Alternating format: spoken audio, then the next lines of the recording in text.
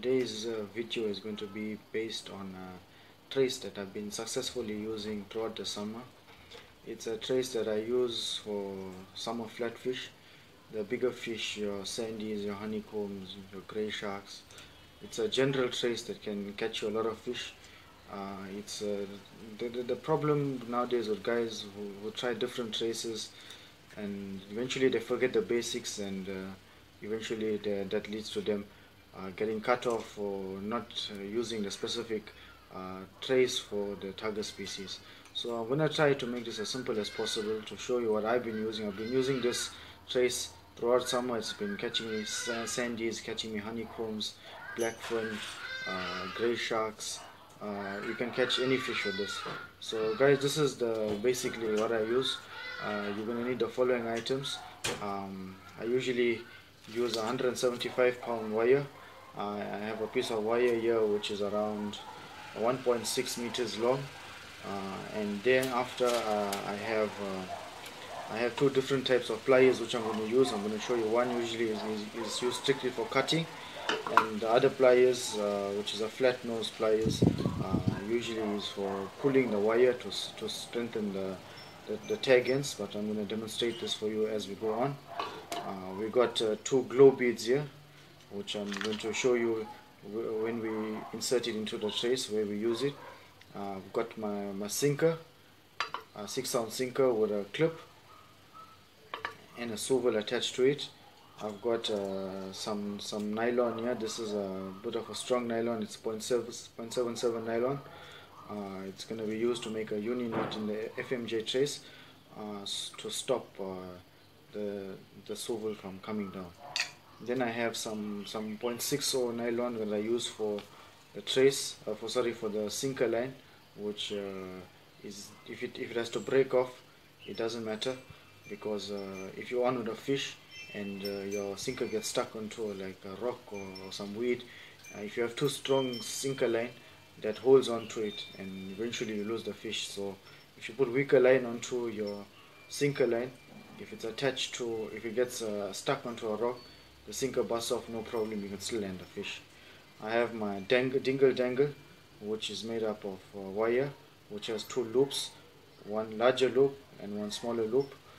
Uh, I'm just been given these hooks by Lucky's to try out. These are the new Mustad uh, the demon perfect circle hooks. Uh, it's a nino I'm going to be trying this out soon. Uh, I use the number one power uh, and then I use uh, the NT swivels this is going to be used to attach our our sinker line to it. So guys uh, let's get started with this trace this is the full metal jacket trace uh, we take our wire first of all and uh, you start off by snelling these hooks. So you take your hook take your hook uh, with your circle hook. It's important to start snelling this hook from under guys if you snell this hook from over it you're gonna miss fish 10 out of 10 times. A circle hook you always snell from the bottom.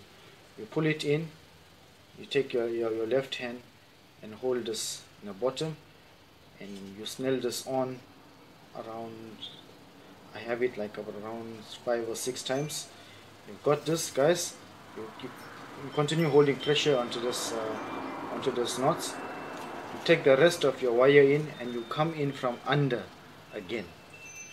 You come in from under you go through the loop of the of the hook and you pull it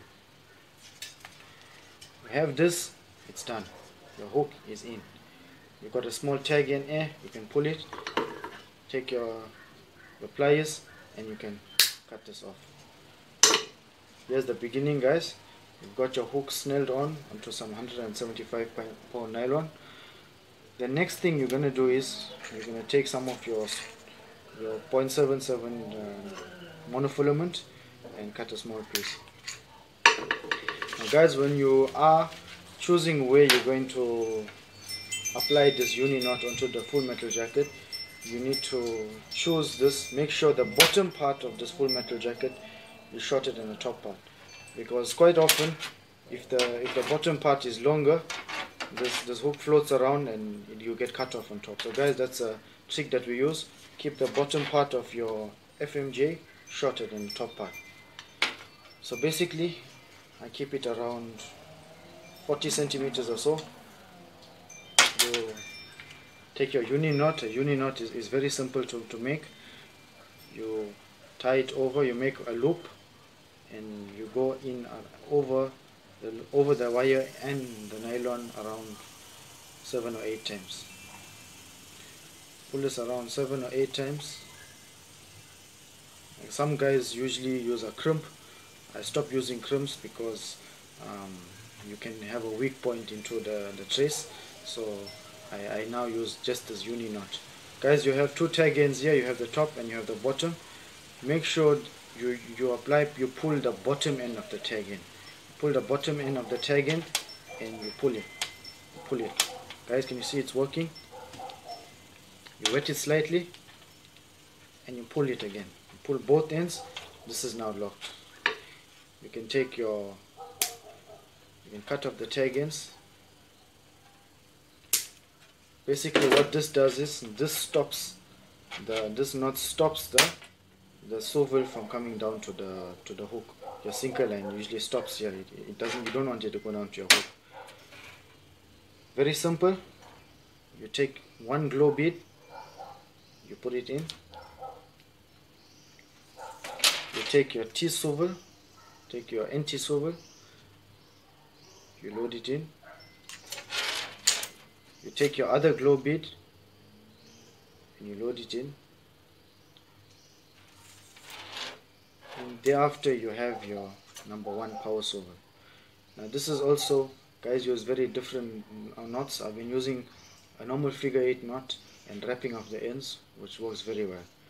You take this in but guys just be very careful how you make this and where you apply the pressure onto pulling the tag in. You put this in into your number one power swivel you put it over your finger and you make I usually roll it around two times and we pull this in and you can see here that a figure eight comes. But don't take your finger off the, the loop. Here you take your flat nose pliers you hold this tight just tight and just one time pull it in tight. There you have it. You let go of everything you hold the figure eight pull this in right to the end right to the end. You have something like this. Basically this knot is now locked in. You have your tag ends. You take your tag ends and you just fold it over. So it just secures the knot.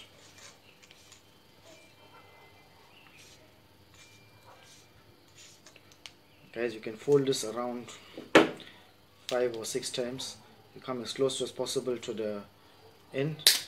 Cut this off and here you have it. You have your figure eight and you have your uh, folds of your wire.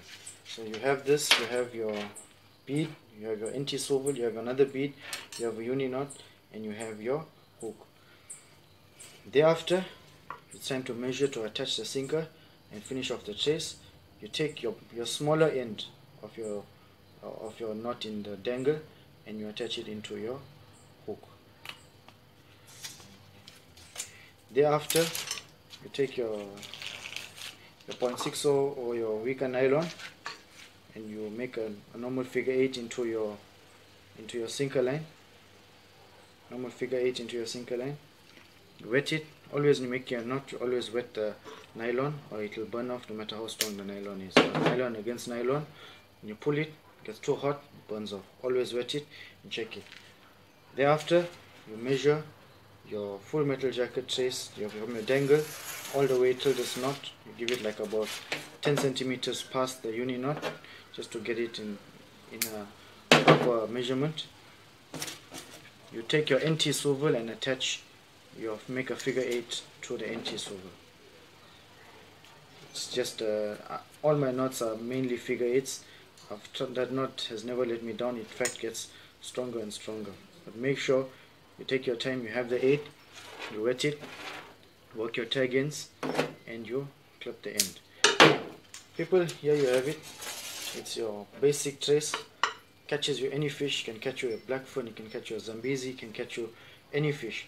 Uh, remember this uh, you can attach your bait to this and you can you can attach this to your sinker and this goes as far as possible basically this is your trace you know you have you don't need to use an extra piece of nylon when using this from your braid. You can take your braid leader make I usually use uh, another uni knot here and uh, around eight times and uh, I, fish basically this is about the trace I've been using throughout summer. Hasn't let me down. Guys try it out and let me know how it goes. Sure